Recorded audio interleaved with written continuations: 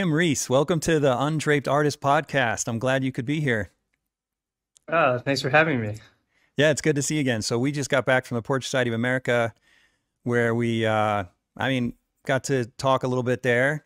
Actually, even saw each other on the way home on the on uh, in the plane or in the yeah. airport line. That was fun. Yeah. Um, but um, but it was good to see you there. But it's good to catch up too, and just uh, to learn a little bit more about you obviously we've known each other for a while, but there's probably a lot of things that I don't know about you, and I'm anxious to uh, to find out what those things are. So this this should be fun. So first of yeah. all, I want to find out about the space that you're sitting in. Tell me a little bit about that. Uh, so it's a building in downtown Maquoketa. When we moved here uh, almost two years ago, I bought a small building here and then in last October, another building came up for sale that used to be a photography studio. And uh, so I snatched that up. So it has um, pretty tall ceilings, which, you know, there's a drop ceiling in here right now. Um, I'm going to take that out. There's the original tin ceiling above that. so I'll be taking that out and then I can work on some larger paintings. It'll give me an extra two feet of uh, space. Oh, wow. There. So this is an old building then? Yeah, late 1800. There's actually a bowling alley upstairs in the building. Upstairs? Really? Yeah. Uh, so I own I own obviously the whole building.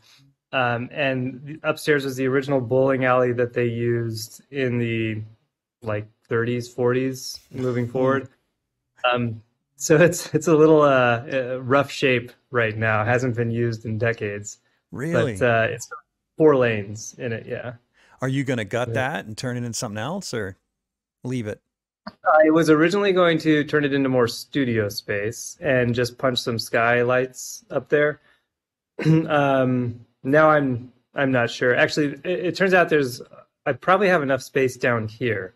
It's uh, about 2,500 square feet per level, and so if I feel like I have enough space down here, I might just slowly kind of restore the upstairs and just have it as a hangout. So, what state is this in for those who don't know that town?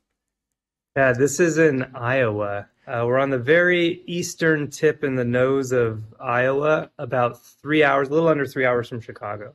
Okay. So, yeah. tell us. So, I know you're not originally from Iowa, um, but tell us a little bit about your how you grew up, how you ended up becoming an artist, and and what that path looked like. Uh, okay. Yeah, that's. Um, I didn't know I was going to be an artist growing up. Um, I did do drawing, but I also wrote a lot, and I was really into baseball and just uh, scholastics, taking um, advanced classes in school, and uh, we bounced around a lot as a kid. I was in California, and then up to Montana, and then back down to California, up to Montana again, and eventually we ended up in Arizona uh, for my uh, middle school years and high school. And I took art classes in high school, but the teachers always said that you couldn't have a career in art. That if uh, you wanted to be an artist, you had to be an art teacher. Mm-hmm. And so I never really considered that.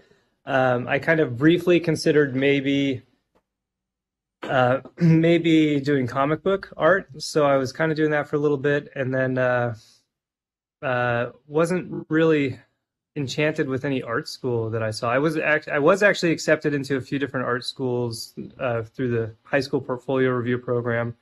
Um, I had a full ride scholarship to any state university just because of the ranking that I finished high school. Um, but I didn't like the art departments of anything in Arizona, so I kind of just did general education classes to try and figure out what I wanted to do. Um, then I heard about an animation school uh, called Collins College, and the teachers there worked on like Land Before Time and Anastasia and Titan AE, uh, like you know old Don Bluth films and um, Fox Animation Studio. And so I actually attended there for a year and learned to do cel animation. So I you know, do all the drawings, and then we switched to computers, and I absolutely hated sitting in front of a computer all day. So I dropped out of that. Mm-hmm. Uh, and at the time, I was working at a hospital in the emergency room and doing some registration stuff, um, learning how I got my um, emergency medical technician certification, um, and decided I wanted to go down the medical path. So I started taking classes for that. Um, and then it was in 2000, end of 2008, beginning of 2009.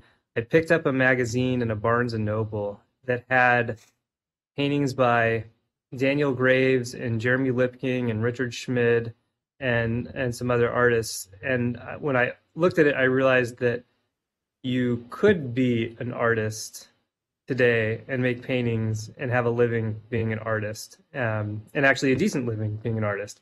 And the skills that all of my teachers growing up told me died with the old masters. You could actually acquire those skills today and learn how to paint. And so uh, I decided to become a painter after that. That was the last uh, last biology classes and everything that I took. I, I, actually did sign up for art class the following uh, semester at the college. Um, and at the same time, I registered for a three day workshop with Jeremy Lipking in Scottsdale. And I did the art classes for like three weeks. And then I took the workshop. And after the workshop, I told my art teacher I was never coming back to art class again. and I quit school and, and just started painting. Really? And, and so, how old were you at this point? Uh, I was 24. Okay. Yeah. Okay. All right. So, how did you go about getting your education at this point? Uh, I mean, you said you that... just started painting. What does that mean exactly? You must not have just started selling paintings right out of one workshop from Jeremy Lipking. Or did you? like a month. Yeah. What? What's that? Yeah, like afterwards, after the workshop I did. Yeah, no started kidding. selling paintings. No yeah. kidding. Um, yeah, I uh, took uh, the first what five six paintings that I finished, and I started walking into downtown Phoenix during an art walk, and I went to the different galleries. I found uh, one or two galleries that showed representational work, mm-hmm. and so I showed the paintings that I had and asked if they'd be interested in showing them. And those galleries were only open twice a month. It was the sec- first and third Friday and uh, there was a gal there who liked the work and said she was willing to put it up for sale and um, so she started selling them here and there and uh, yeah that's how i kind of got started. You gotta be kidding me one month yeah that's yeah. that's unbelievable that's unbelievable so tell me yeah, i've done like other stuff mostly abstract stuff before um, and you know i drew a lot before um, but I'd never oil painted. Of course, these were just kind of my first first ones. So, what do you attribute your success to? You said such quick success. Is it is was it your drawing skills or? Yeah. Oh, yeah, for sure. So, because I drew a lot, and actually at the hospital in my downtime, I would get bored, and I would just use the regular ballpoint pens that we had, and I would look up paintings or drawings that I liked, or pictures of animals and and I would use a ballpoint pen to carefully draw those things uh, and learn how to draw without making a mistake.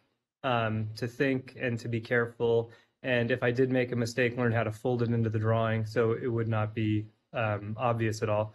And um, so my drawing skills were decent enough, and my color skills were pretty awful. But I mean, if you can draw decently in a painting and understand you know values and shapes and edges um, then that's pretty much the majority of what you need for it to come across as realistic um, and i was always conservative with color especially in the beginning um, as opposed to going over the top garish so i kind of sort of snuck up on realism that way uh, but yeah it was totally the drawing skills for sure so what um, gave you the confidence i mean there's a lot of people that might watch this that would just be mind blown that you would have the confidence after one workshop to walk into a gallery with paintings under your arm like that. What do you attribute that to? Um, well, a couple things. First, I'm of the mentality that if I've seen somebody do something, I assume it can be done by just about anyone.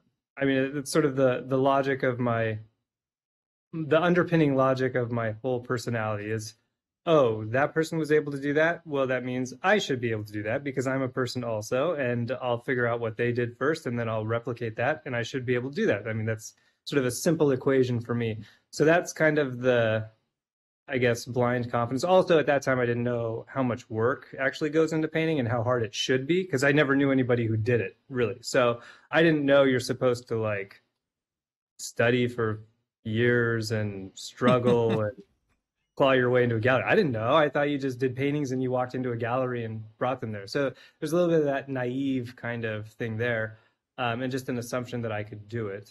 Um, and I think that's kind of and then also I, I feel like I had a fairly decent gauge of quality at, at that point even. Uh, I was able to discern paintings that I did not like and didn't think were good versus what I did like and I did think were good. And when I looked at my paintings I thought they were good enough to be in the particular gallery uh, settings that I was taking them to.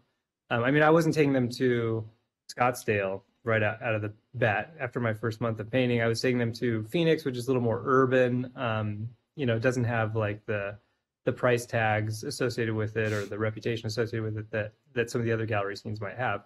Um, so I feel like I targeted an appropriate spot. Um, my work was at an appropriate level. I found gallery that would work to showcase my paintings that would fit with their paintings and attract the right clientele. So I mean, there's a lot of those subtle things that went with it, as well as the fact that I thought the paintings were good enough. Um, I, you know, I would want to hang those paintings on my wall, so I figured somebody else might want to as well. Wow. Um, okay, so that's interesting. I have a lot, I have lots of questions based on that because it's so unusual. One month from a single workshop. Um, but it sounds to me like even though you had some art classes, most of your drawing training was just you sort of figuring things out by looking at other artists. Is that correct? Yeah, nobody showed me how to draw. Um, I just replicated what I saw a lot. Uh, you know, just copied pictures, copied comic books when I was younger. Um, mostly out of boredom, really, uh, not because I was trying to learn or anything. It's, so the learning and the the skill happened through osmosis of trying to depict things because I had nothing else to do. Um, you know, when I was working at the, I, so I was working the overnight shift at the hospital. Um, and in the summer, when nobody's in Arizona, the night shift at the hospital is completely dead. We see, you know, a couple dozen patients a night. So there's a lot of downtime. And so I would just be drawing and copying. And um, I didn't think of it as training. You know, I, I've I've had a lot of students who sort of struggle and push against the drawing thing because they want to paint and they feel like drawing is the work that you have to do and and that it's an active learning thing that they have to push through to get to painting. You know i never had that viewpoint. Drawing for me was just something i was doing because i was bored and interested and i was just interested in making it better. And so those skills came a little more naturally for me. Yeah. Um, so that okay, so I want to ask you about something you said earlier. You said that you are of the mindset that any if one person can do it, any other human being can do it. But you and I have been teaching a long time, both of us have. Um, I've been mm-hmm. teaching mm-hmm. for gosh, 20, 20 years now, I think, privately out of my studio. Yeah. And um, that may be true. We uh, this isn't the place to talk about that. What's that? now that I now that I've had experience, I don't know that that's oh, true. Oh, okay, good. Okay.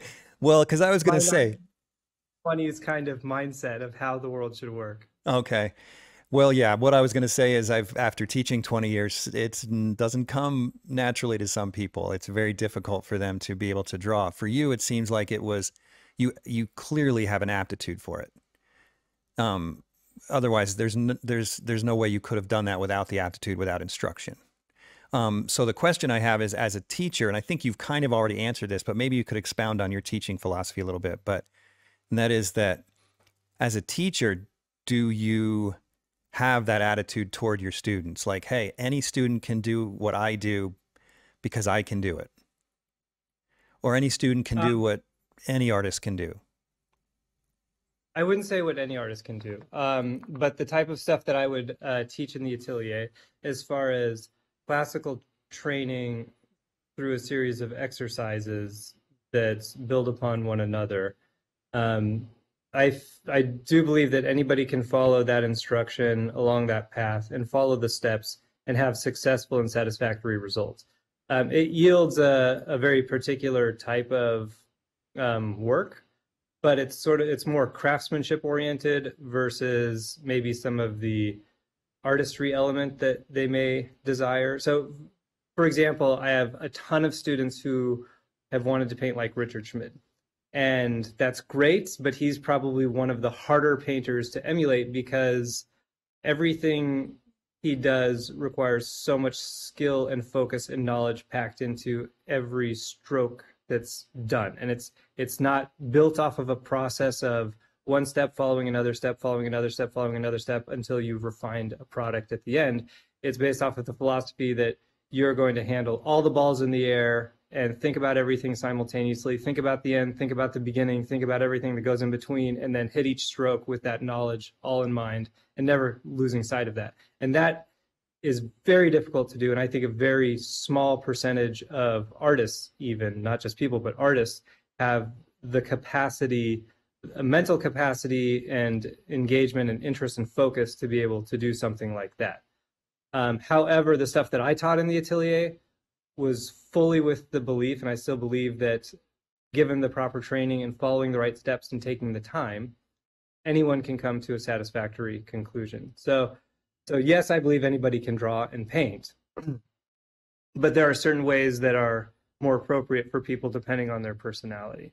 And I think that ends up being a big uh, um, wall that people hit is what they're interested in doing um, doesn't always match their sort of what their mental alignment would be for that sort of work and mm-hmm. and you really do have to find the find the balance of what you want to do and what is mentally comfortable for you to do um, and what you're willing to put the time into also. I mean the step-by-step process is great because it can yield a, a result but then you're looking at a painting that's 100 200 plus hours. You know people like the idea of alla prima you're done in three hours and finished but that's not always in most cases that that's not feasible for people to be able to do but they just don't want to spend the time for the other route. So i mean it's it's a tricky balance um, but i do believe anybody can be taught to draw right. and paint i've, I've taught an eight year old who's never drawn before how to draw the mona lisa before and it came out pretty darn well after you know a class or two um, so I believe everybody has that capacity. Um, I was naive enough to believe that I could do anything that any artist has done before. Um, and that that was my approach, which I well, that might be true. well, I, uh, I don't know, maybe maybe not. Um, uh, there's not enough time to find out. Yeah, isn't that the truth? Okay, so talk a little bit more about how you do train then at your atelier, this this step by step process that you're talking about? So it started with um, the Scottsdale Art School coming to me asking me to create a kind of part time training program that would be an ongoing thing. They wanted a year of drawing and a year of painting. And so I had to look back at uh, books from the past and then also what other ateliers were doing and create a curriculum and classes designed off of the premise that I would get students for three 10 week blocks to teach them how to draw, and then three 10 week blocks to teach them how to paint. And so I sort of distilled and focused the assignments into uh, what I felt were the sort of bare bones that people would need to learn to be able to be successful and go on and, and have a, a career in painting.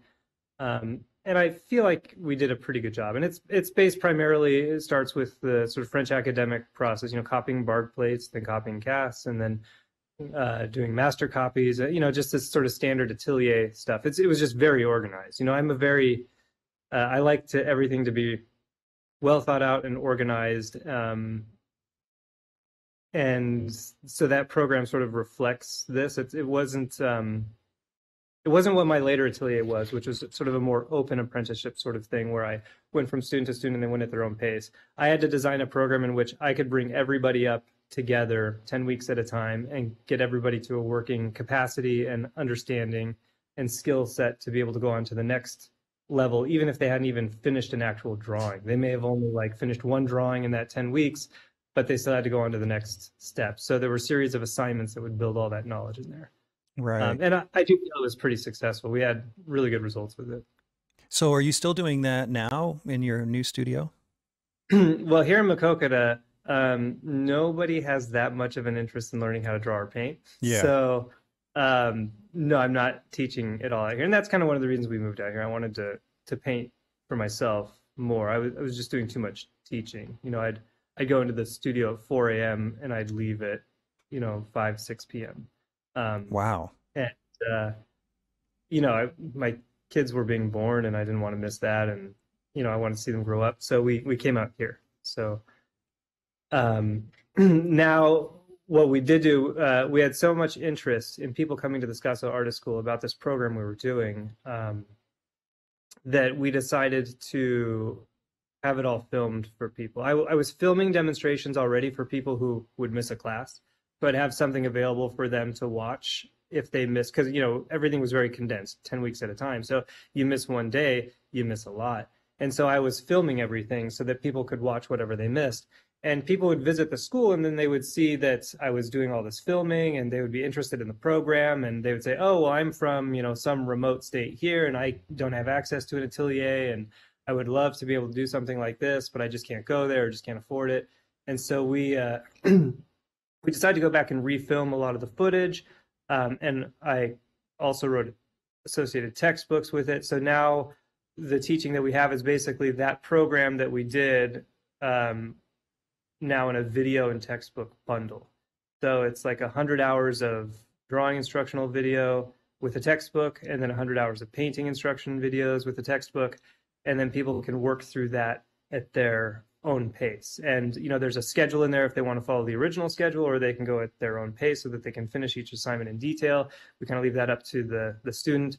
And then, um, you know, people who have purchased the bundle that we send out to them, if they finish one of the assignments, they can shoot it over to me in my Dropbox and I can give them a critique of it. And so they kind of get the remote learning experience that way.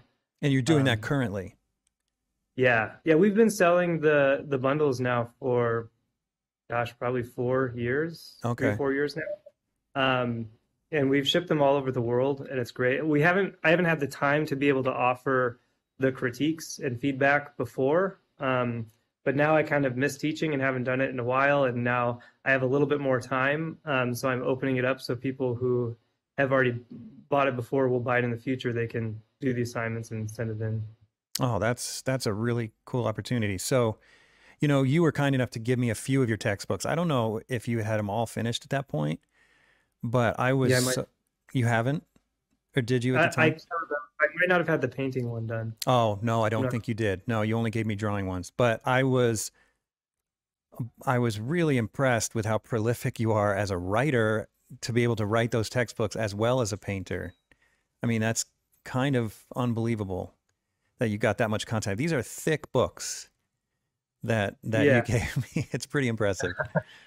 Yeah, yeah, they, they definitely are uh, sort of textbooks, but I I do enjoy writing a lot, um, and uh, I've taken kind of a now more of a cue from some of the science authors that I like, in that you should try to condense things to be as understandable and clean and concise as possible.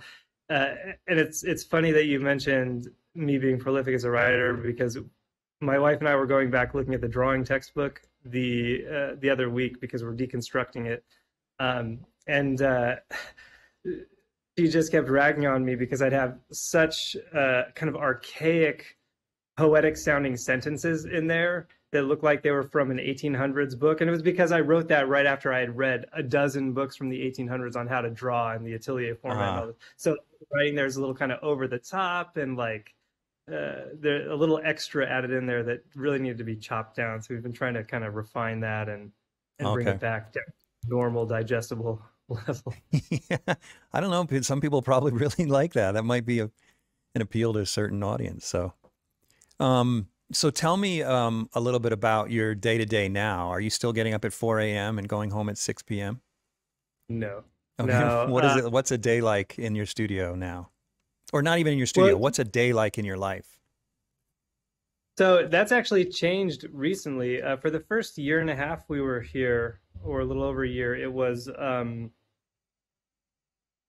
I would be our, our daughter was born. Our third daughter was born here right after we moved here. You know, like a month after we moved here, and so I had to help out with the kids quite a bit more. So I was going into the studio at 3 a.m. Oh, and then I would come home at 7 a.m. and then I would help feed and dress the kids and get the bigger kids off to school.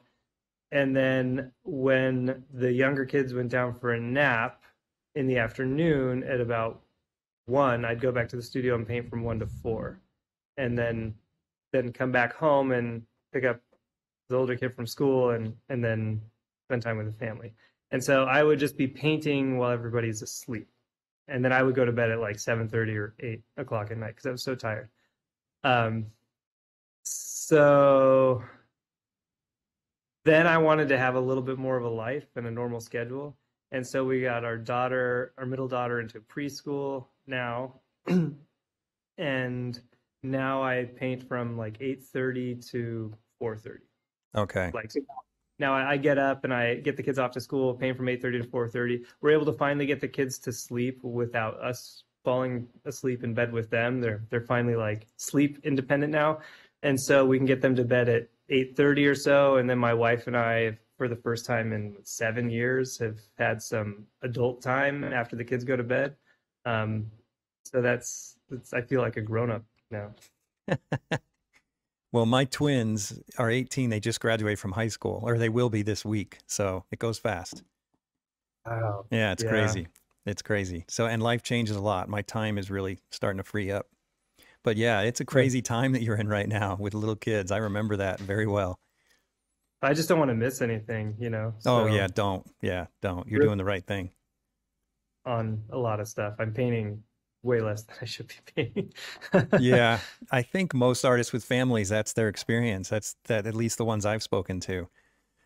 So, yeah, I get that. Um, so you your family is clearly important to you. I think this actually is a good time. I'm going to pull up your website here, okay?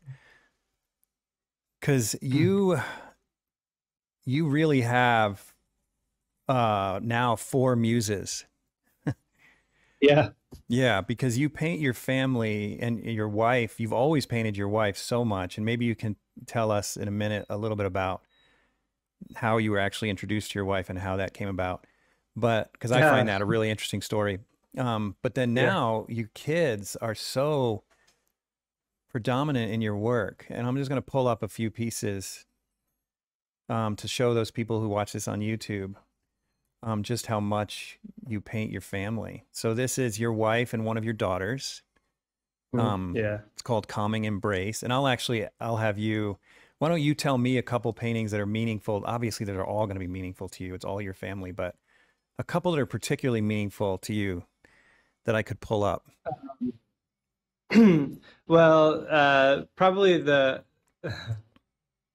one of the most meaningful, I guess, and probably one of the most well known is uh, the bribe, where my son's eating the cupcake. Right here. It's, This one uh, was in the Portrait Society of America contest. Yeah, so this was, you know, because my wife would be overwhelmed from, you know, being pregnant and exhausted and taking care of our son, and I'd come home and the house would be kind of destroyed, and it was just kind of, you know, a day in the life sort of a thing. And so this scene is actually staged. We actually did it in my studio, um, and uh, added all these elements to it to kind of help to to the narrative. So this this is one of the few pieces that I've done, which is actually has a little more narrative and interesting things built into it like the the titles of the art books on the bottom are the artists who influenced the style uh, and techniques that are in the painting um, there's some books on the top uh, like children's books and books on parenting and stuff that kind of just add a humor to the painting um, and then there's things like you know the painting that's hanging on the wall behind my wife is a painting my son actually did um, months and months before and um, and uh, just random stuff like that. And so uh, um, it had a lot more built into it. And then this this one here was the follow up painting I did a year later, um, which is sort of a reversal of roles. Like now my wife is finally content because she's had the baby, and my son is just bored because he's sitting around waiting for her to finish all the time. Um, so those were uh, those are sort of meaningful paintings to the to me and um, because of the stories associated with them. Yeah. And then there's another one um, of my wife holding our son in Barcelona. okay. Um, it's the f- one of the first big ones. Let me go back to that one Uh, sec here. Ah, uh, this one here. yeah, Yeah. yeah. Yeah, this is gorgeous. The kiss. So this is one of the first uh, large paintings I did with um, of my family, um, and it was from a trip in Barcelona. And I didn't even have my phone. I, I did a bunch, or my camera. I did a bunch of uh, plein air sketches of the landscape, and then I just took some pictures with my phone at the time. This is back in I think 2017 or so, and um, and then I did a large painting from that. and this was sort of a, a more remarkable piece for me for a couple reasons. Um, one, because I kind of developed a new technique of painting where I finally figured out how I wanted to paint. Um, and this was sort of the first one to represent that, um, where I had to work from a, a really poor photograph that had no information on it. And then I had to do a lot of anatomy studies and then build that anatomy into the paint application to create more depth. Um, Really? so it was a, it, it ended up combining all of the techniques that I was teaching in my atelier into sort of one painting and then getting them to marriage to a relatively impressionistic background, which was kind of a challenge also. Um, so I vividly remember doing this painting and it being kind of a landmark piece for me. Um, and it was also uh, notable because it was uh, one of the first ones I sold through Arcadia, um, which ultimately led to me being represented by them, which was always the dream of mine ever since I started painting, actually. Yeah, that's a gorgeous painting. So the figure in this, if it's 45 inches tall, the figure would maybe be 30 high. Yeah, like three feet. Yeah. yeah. Yeah, that and all that from a cell phone picture in 2017. So Yeah. cameras weren't even as good not- as they are now, right? No, it was it was very very blurry picture. Unbelievable. So I Yeah, had to kind that of gorgeous. work around that. Yeah, so these paintings here from the Beauty in Motion series, this uh, was an evolution out of me painting models at the Palette and Chisel in Chicago. Um, I kind of embraced this Richard Schmid idea. In, in- well, in 2009, I should back up and say, in, in 2009, I started painting with a group of people in Scottsdale. Um, and one of the gals there, her name was Bonnie Anderson, and she told me about the Palette and Chisel in Chicago. And she said, That's where Richard Schmid went. And I said, Who's Richard Schmid? And she said, You don't know who that is? And so she showed me his book. and so I, I received his his book as a gift from um, someone and and uh, learned all about Richard Schmid and the idea that you could just look at a model and paint them and and that can be your painting career if you want and you just look at something and paint it and make it beautiful and there's nothing wrong with that because I always felt terribly uncreative. I still feel like I'm not a very creative person. And so I like this idea that I could just look at something and paint it. And so I moved to Chicago uh, the fall of 2009 and just painted models. And and uh, a lot of these paintings, especially these ones here, these are from those early days in Chicago, painting models in my studio and at the palette and chisel.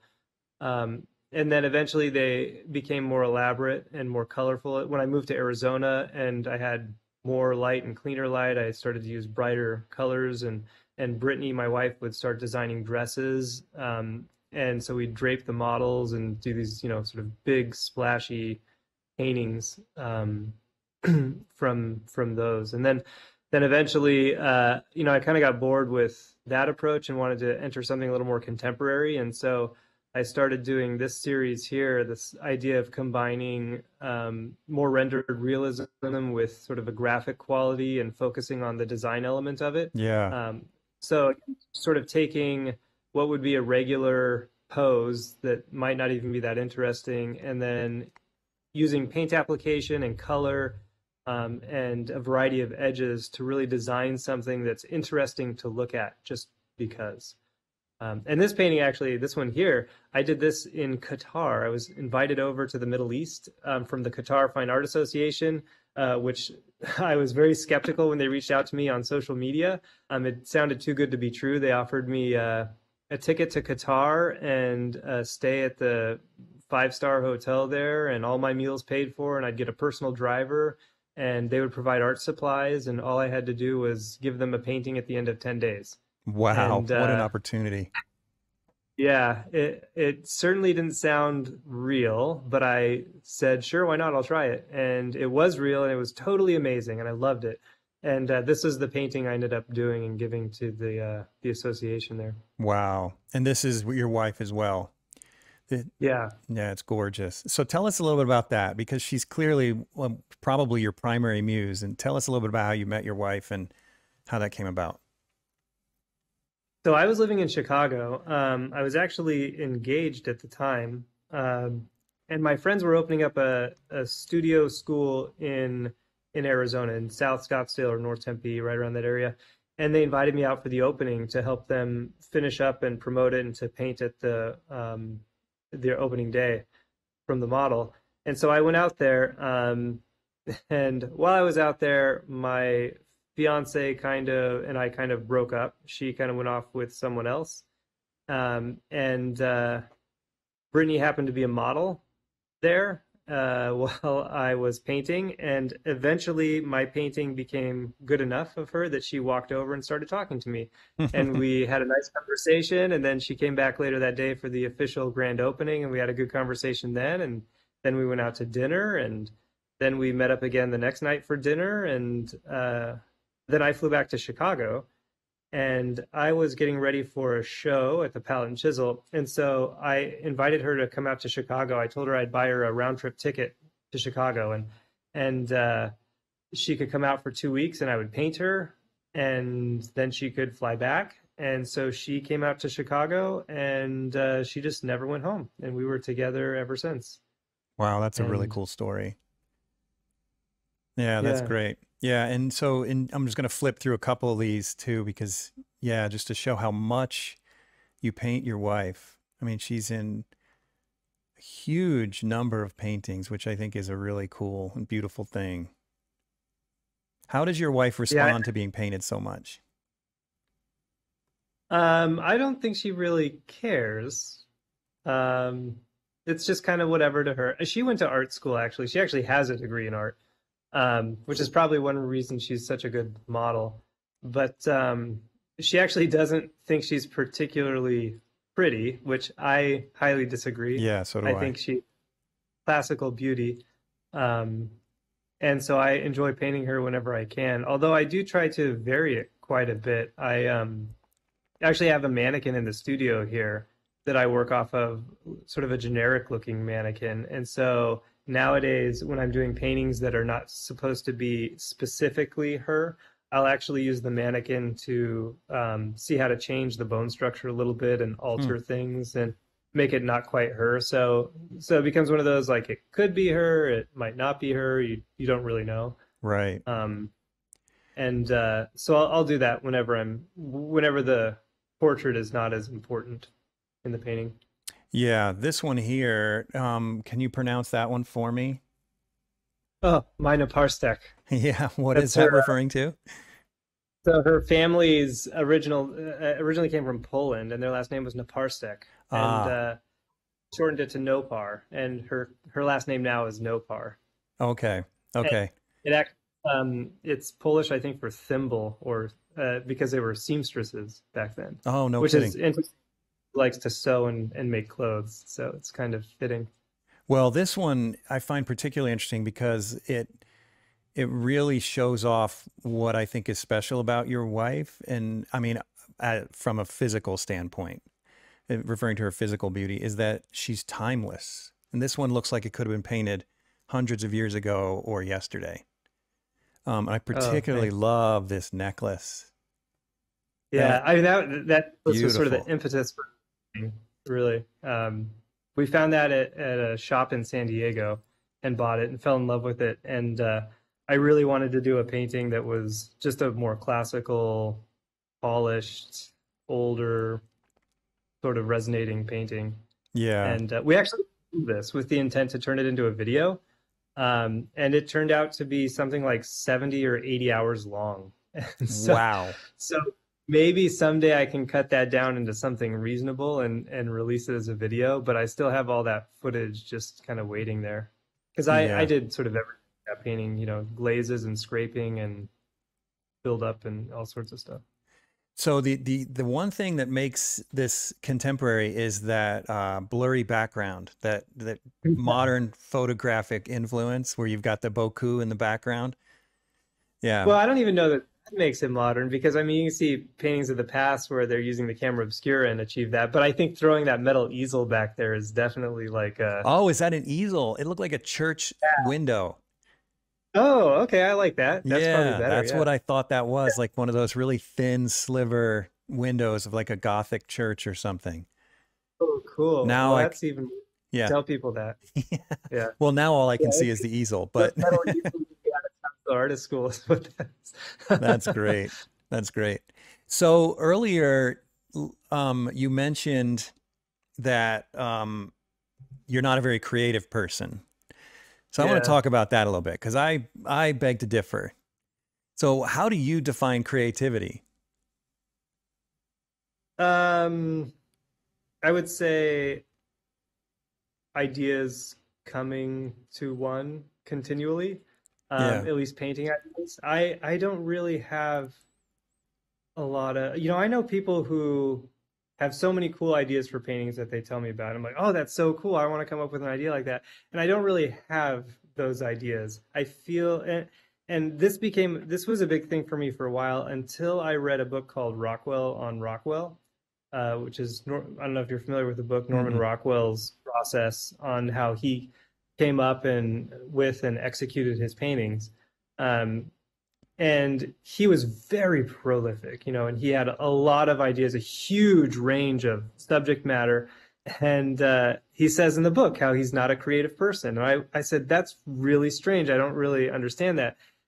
And he says he could never come up with an idea. And so what he would do is creativity exercise where he would start with something simple like a lamppost and he would sketch it out in 10 or 15 seconds and then he would sketch out the next thing that popped into his mind, like a sailor leaning on the lamppost. And then that would remind him of a sailor getting a tattoo. And then that would remind him of this, and that would remind him of this. And it would go through this stream of thought process where uh, he, he began making little narratives that would just pop into his head because of an association from an image he had just drawn.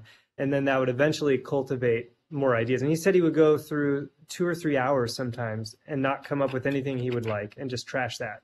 And then he would do the exercise again later on until he would come up with an idea that he thought was really good. And then he would show this little sketch to a neighbor to see if they sort of understood it and got it. And if it passed the muster, then he would turn it into a painting.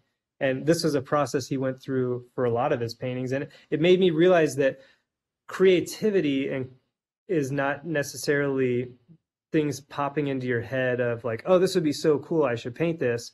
Creativity is taking a lot of outside factors and distilling them and sort of mixing it together in a soup and then applying your own voice to it and seeing what comes out the other side sometimes and so that's that's what a lot of my paintings are now um, and i feel like that's how i'm coming up with things i it's a mixture of me looking at old paintings and modern paintings of other painters and my own paintings and then coming up with sort of a vague idea of you know like oh i like this outfit i want to take it to the beach and then you know i like this lighting condition here let's go do this over here and and then also working with whoever my model happens to be if it's my kids or somebody else's kids or or brittany or whoever and then sort of trying to coach them but then letting them also be natural. And then from that natural element selecting what coincides with the rough outline i had in my idea so that i'm not trying to make anything that's too forced or stiff.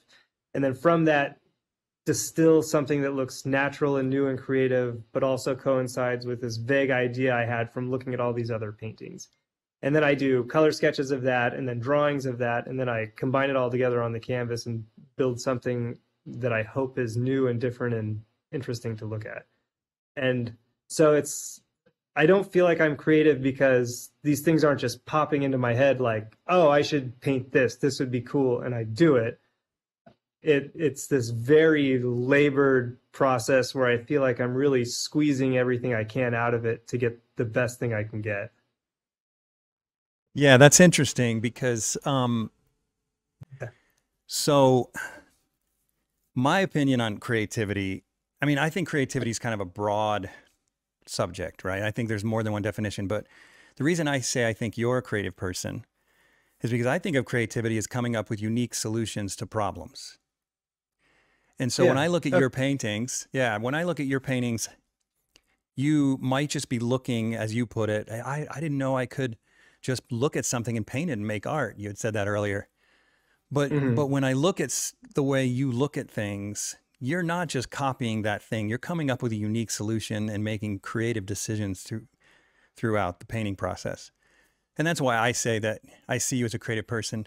What what I think um, the, the way I would define the the other thing you described as an imaginative person. You know, that's how I yeah. would define it. Yeah. That's true. Yeah, that's how I would define yeah. it. But no, I think you ever heard of that test where they where where some people give a bunch of people a brick and they come up with all these different creative ways that you can use a brick. And they they use that uh, test to measure if a person is creative or not. And some people say a paperweight some people say build a house some people say you know various things. And someone might come with a creative solution like who knows what a doorstop or grind it up and make pigment out of it or you know there's but they use that just a simple brick in order to say okay the creative person will come up with something absolutely unique with this whereas mm. everyone else is going to do what what bricks use bricks for what bricks are supposed to be used for right?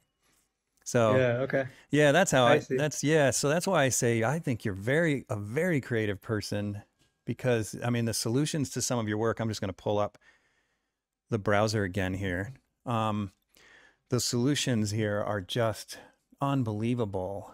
Um, and I realize again that you are painting things, but this isn't exactly what you saw. The way you handle this this uh, horizon line right here, or the edge of the water.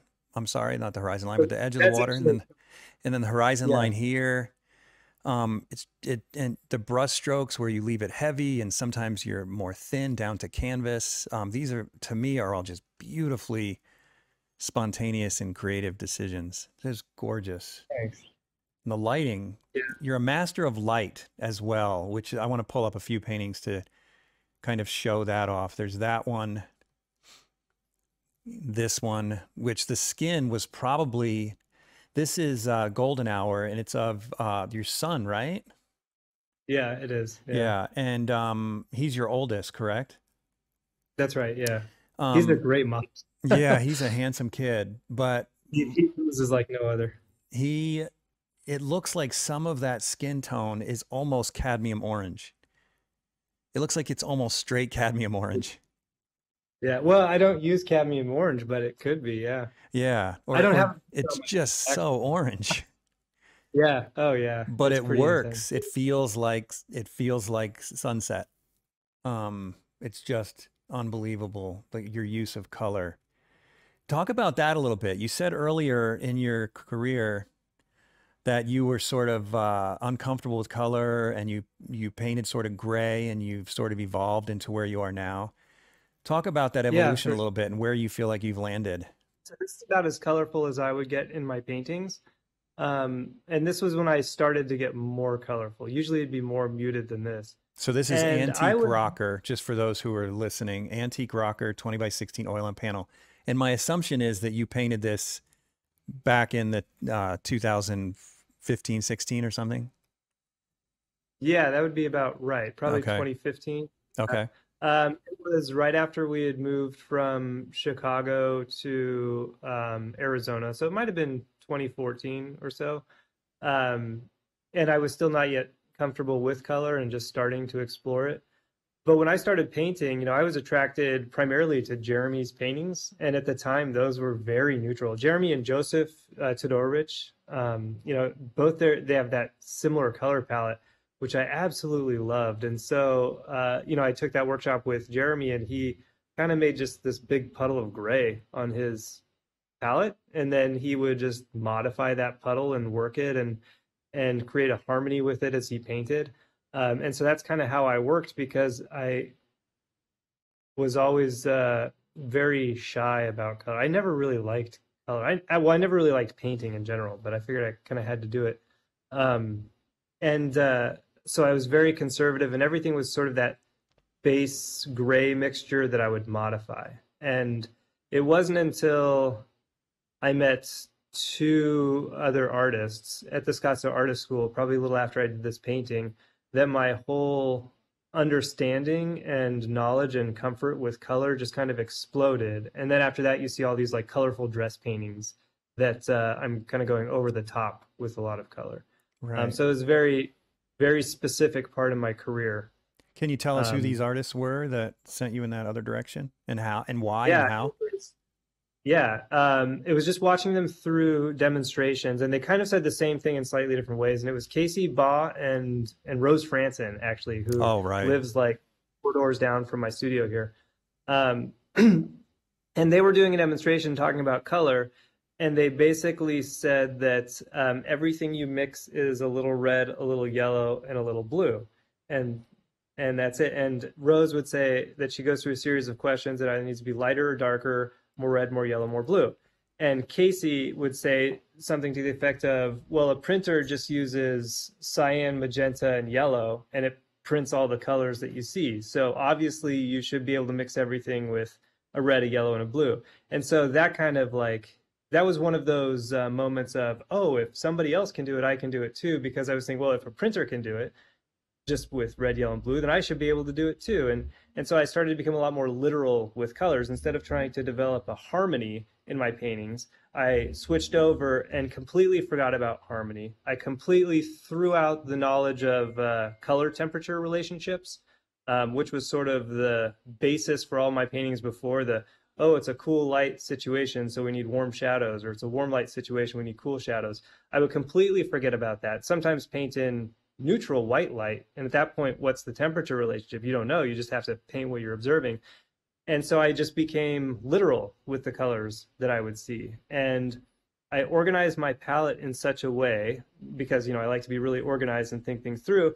So I had a red and yellow and blue at five different values. So a light red, yellow, and blue that was basically off white that I mixed. And then values going down until I had basically off black, red, yellow, and blue. And then I would do a poster study of every painting where I would use a five value gray poster study to break down all the values of what I was looking at in the model and the scene. And then when I would go to do the big painting, I would say, okay, well, this section of the painting is a value two. So I'm going to my value two, red, yellow, and blue, and I would mix those around until they were the right color and lay it on. And it would work out. And and it always worked out because it just followed sort of a mathematical precision of observing the correct value and then using the red, yellow, and blue of that value until you arrived at the right color and then laying it down. And then when it was all done, you could soften as needed to uh, bring the values together or or mix the red, yellow, and blue mixtures of two values to expand it to a 10 value range. Um, so that was the process that I used for then probably three years um, to do all of my paintings. And it, it was a really kind of rigid, um, no flare mechanical process of getting the right color that I was observing. And again, it, then it trained me to observe color more carefully and copy it literally. And if I copied it literally, I didn't have to worry about relationships. I didn't have to worry about color temperatures. It would just look like what it was supposed to look like. Um, and and it worked. And then after a while, I actually reduced that palette down to fewer colors. And now um, now for flesh tones, I basically have three colors that I use and then I modify them a little bit as needed to go lighter or darker. But um, the knowledge that was built into me from those years of red, yellow, and blue and, and fine tuning the value, that's that's with me now. And so when I'm painting, I usually get pretty literal to either my reference or my color sketch or some combination of the two to to create the colors that I'm observing. And and nowadays I paint with no toning on my canvas, just a white. I just go right to town, laying the color in, and uh, people ask me all the time about it because they say, "Oh, well, don't you need to tone it to get the right relationships?" I said, "No, I, I don't worry about the relationships anymore. You know, I've done a color sketch. So, so like for example, I'm here's a, um, I'm doing this painting, uh, this painting now, um, okay. which is sort of a version of that one you just shown. Um, and uh, I work out all the relationships and what I want the painting to look like aesthetically and color wise here. And then I make sure my reference matches my color sketch. And then I can just paint the reference and then key it to my color sketch as needed. But I can be pretty literal at that and I don't have to worry about making sure my background's the correct color or. I just zero in on the color of the flesh, mix it, paint it, lay it down, and move on. So what I'm noticing about you and about this description is is that you have kind of a very scientific approach in it, not Mm. in the way you paint, but also the way you train yourself to paint. Um, Yeah. which I think is fascinating because with my students, I've often told them that painting is not an art; it's a science, and it's what you do with the painting that makes it an art. Right.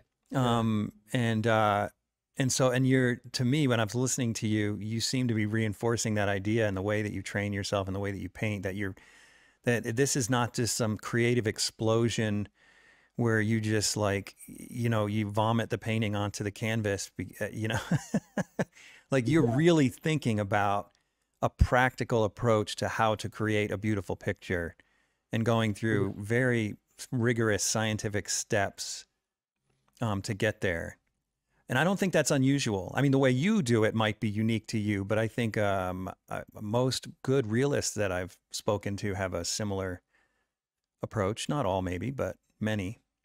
I think you're right. Uh, and I was actually kind of surprised to find find that out. Um, a lot of artists that I'd met before I started to meet some of the realist painters and you know portrait and figure painters especially, um, I didn't really connect with. Um, and I started to meet people like you and some of my other friends and realized that their minds are kind of tuned this way.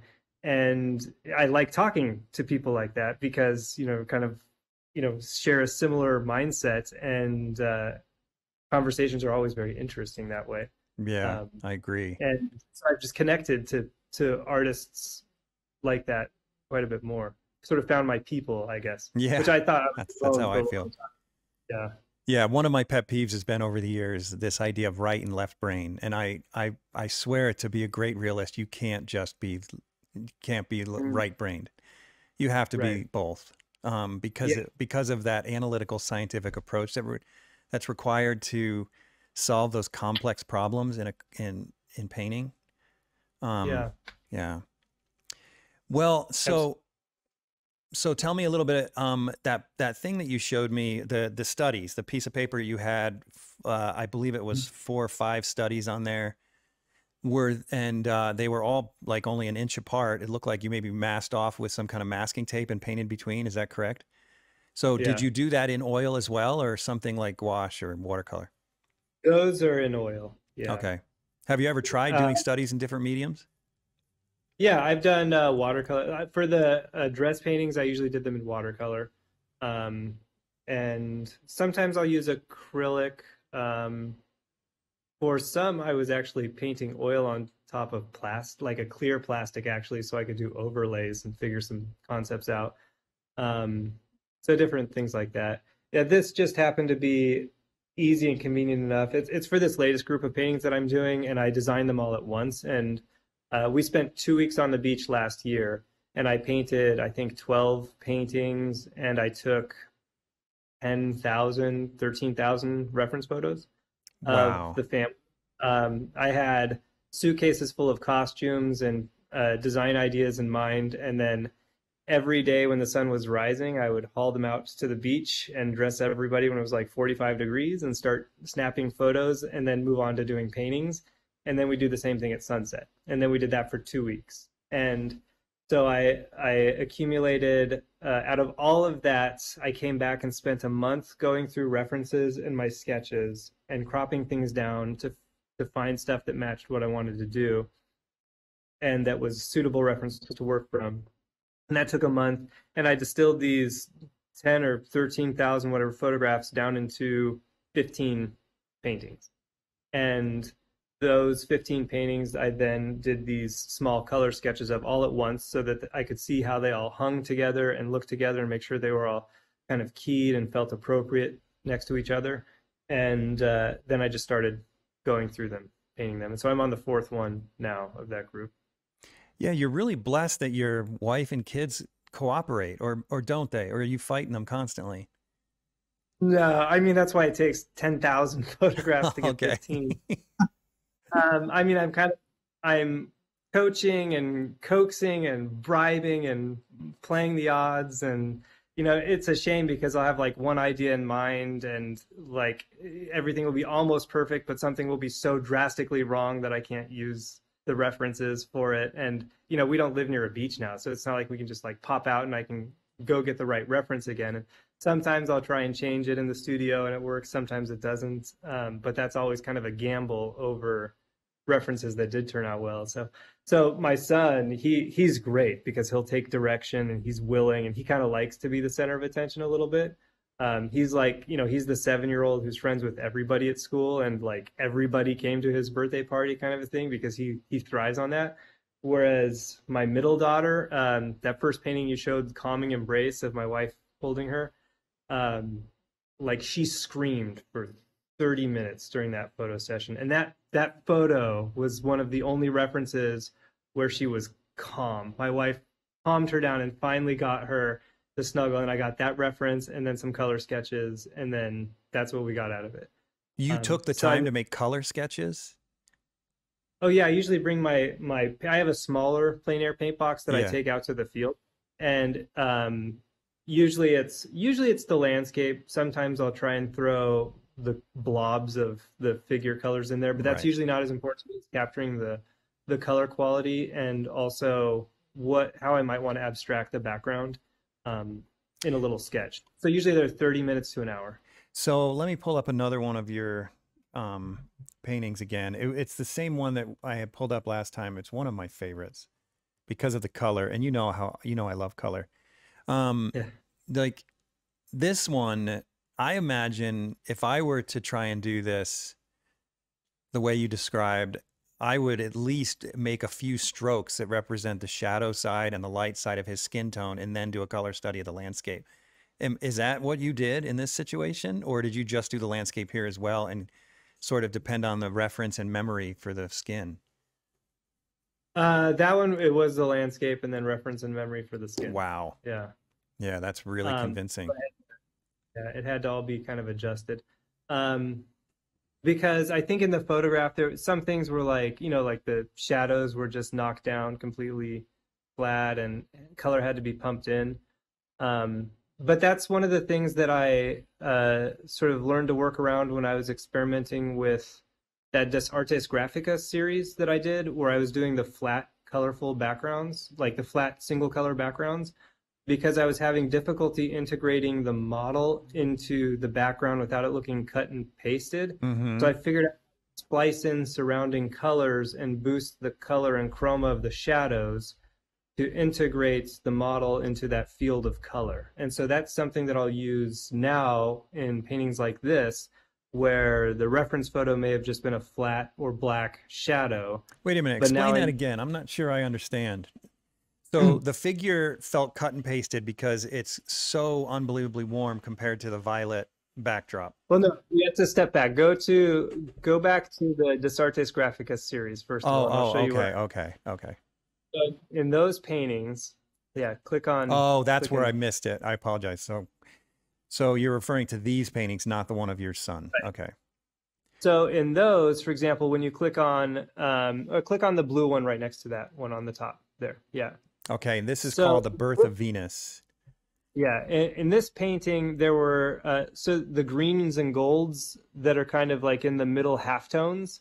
Um, they did not exist in the actual um, model when I was mm. doing this. And then on the right side of the figure, there's some strokes that are cooler and a little more blue, and kind of under the armpit, they're kind of bluer and cooler.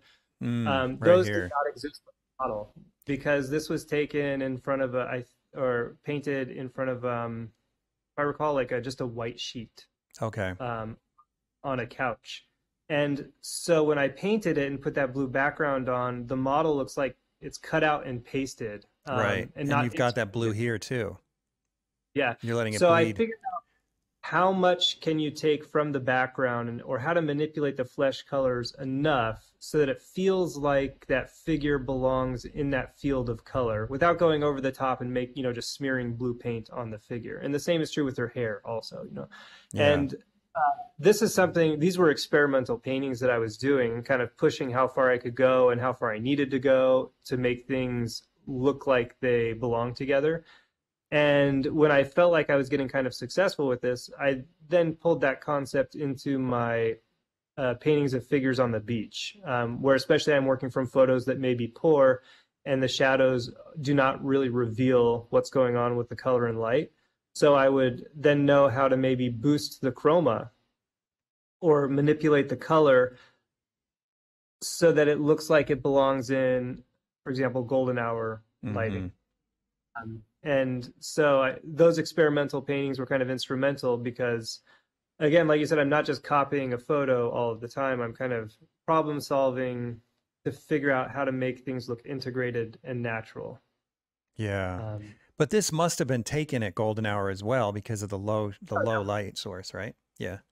Yes, but it was at a different location. So this one is actually in San Diego, where the overall atmosphere is a little more uh, kind of hazy and hmm. cooler and gentle.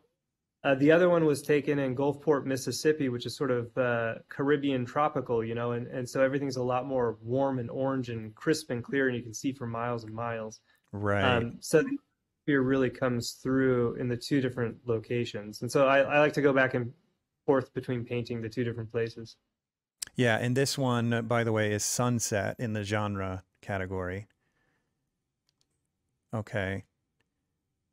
Um, and now let's talk about your plein air a little bit. We haven't mentioned those. How often do you do this, and and do you enjoy it? I I do enjoy plein air painting a lot, and I wish I had more time for it. Um, but uh, plein air, I started doing back in Chicago when I moved to the Palette and Chisel. First of all, because Richard Schmid's book said that you should paint everything, not just one thing. So I would get out there and, and paint landscape but also because I wanted to be able to travel. And um, an easy way to travel if you're an artist is to teach workshops in foreign locations. And so I needed to learn how to landscape paint. And so um, that was sort of the impetus for landscape painting. And, and I ended up really liking it. I don't like to do huge paintings. Um, my sort of attention span for being outside is usually like two to three hours, and then I want to go back inside.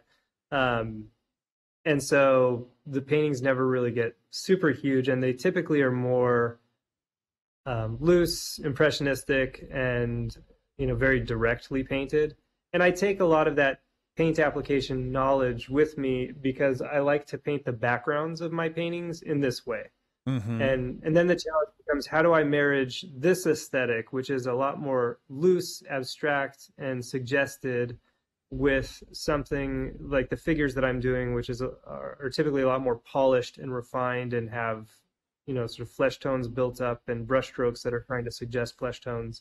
Um, very kind of different ideas. Um, and so the one of the biggest challenges for me in every painting I do is marrying these two concepts without it looking forced or out of place. Yeah, that's yeah, these are beautiful. Very beautiful.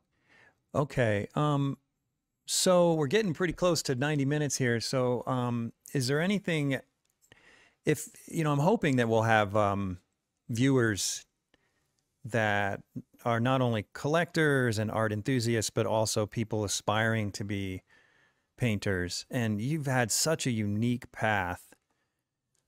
Mm. That being said, what advice would you give an aspiring painter um, not in learning to paint, but also in making a career out of it?